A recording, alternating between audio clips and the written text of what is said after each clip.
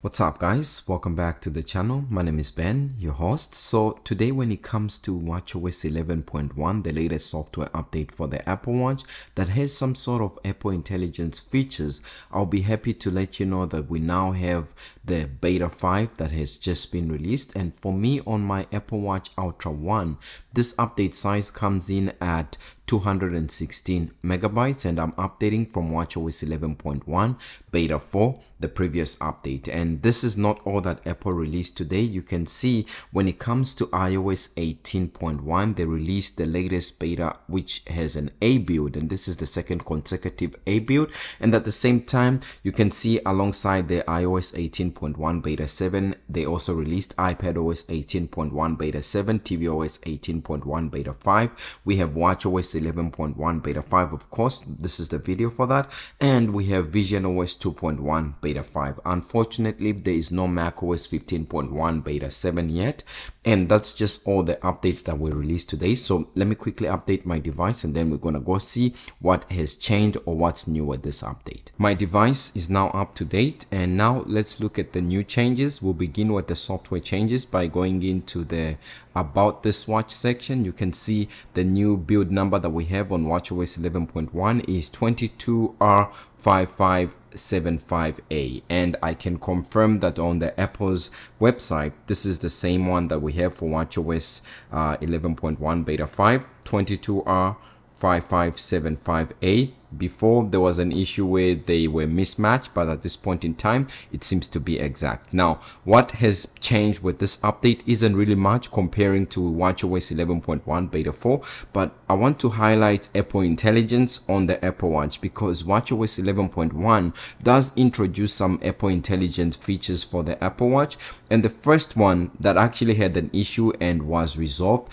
is this one. So if you go into like a focus mode and then you go to this reduce interruption focus mode and you turn it on it's going to look something like this. And keep in mind that this is something that you are going to see even if you have an iPhone that is not the iPhone 15 Pro or 15 Pro Max or even the 16 iPhone 16 series this reduce interruption mode that uses some sort of AI or according to Apple machine learning to be able to reduce interruption in this focus mode is available for the Apple Watch and the iPhone that is paired with your Apple Watch doesn't have to be an iPhone that supports Apple Intelligence. I had this feature when I was actually using my iPhone 14 Pro which doesn't support Apple Intelligence and unlike the previous updates where this would make the Apple Watch freeze and unresponsive, this one actually fixes that issue and you can use it and you can set it accordingly. And when you do set it of course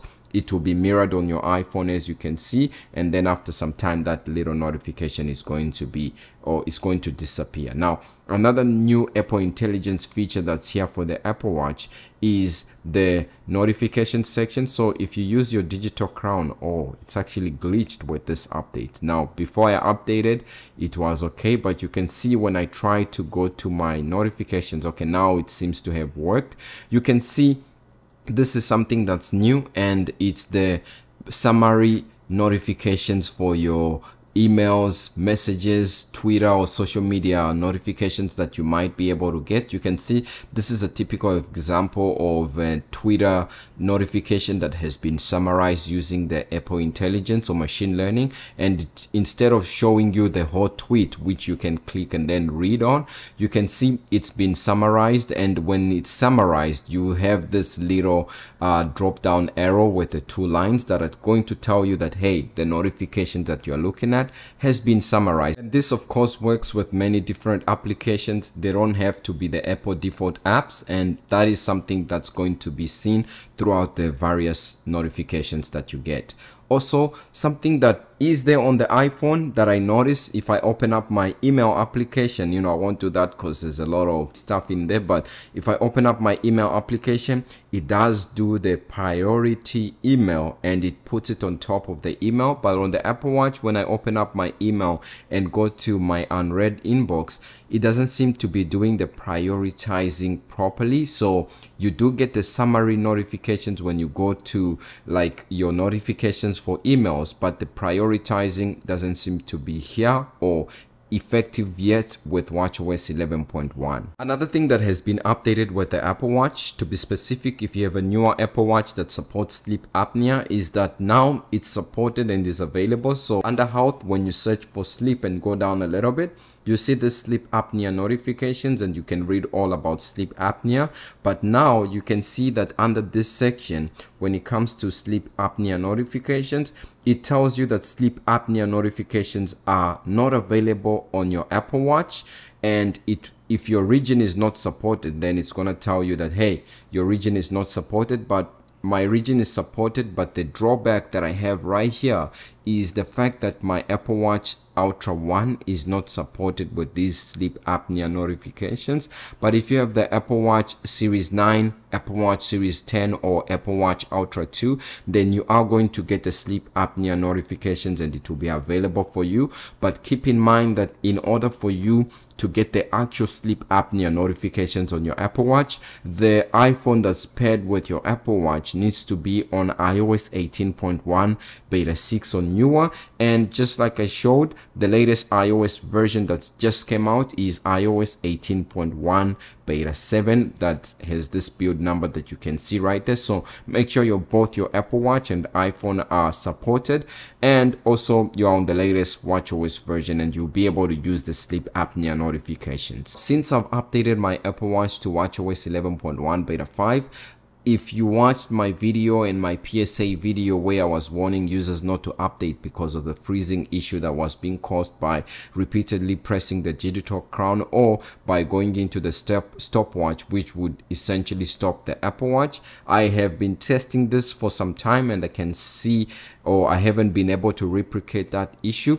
At least for now, that bug seems to have been resolved, which is something that's good. And also when it comes to the camera controls for the Apple Watch, before I had an issue where it would delay so much, but here you can see it's pretty much instant and is working as well. And there was an issue before that has been resolved that had to do with the messages that wouldn't synchronize properly. So if you have messages that were not syncing properly on your apple watch that issue has been resolved. And i sent I sent a few messages including links to see whether this was going to like synchronize with the iPhone and Apple Watch and I can confirm that that bug has been resolved and this works pretty well. One of the biggest issue that WatchOS 11 and WatchOS 11.1 seemed to introduce was the battery drain issue and I've been using WatchOS 11.1 in beta for some time and I can tell that starting with the WatchOS 11.1 beta 4 it seems to have made a big improvement when it comes to the battery. So here um okay my my history actually disappeared. It doesn't show when i last charged my apple watch but I had last charged my Apple Watch to 100% on Sunday morning.